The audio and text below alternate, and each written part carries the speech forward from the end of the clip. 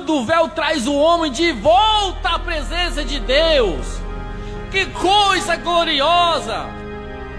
Simplesmente você dobra o seu joelho, simplesmente você pode clamar a Deus, se falar com Deus, e Deus te ouve, e Deus te responde.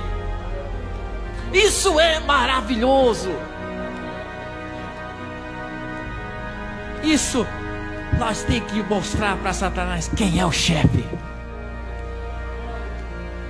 Quem manda em nosso lar? Quem manda em meu lar, meu casamento, na vida de meus filhos? Quem manda nos meus filhos é o meu chefe.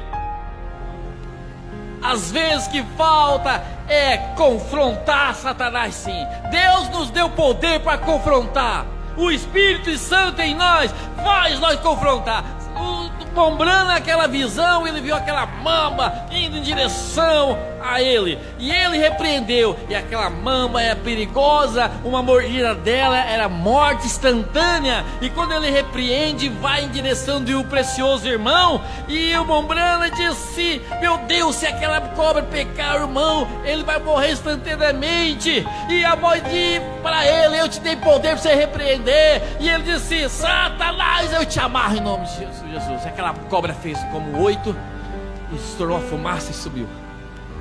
Deus nos dá poder. Eu tenho orado para os nossos irmãos afastados. Vocês devem orar. É nosso dever. Sacerdotal, irmão.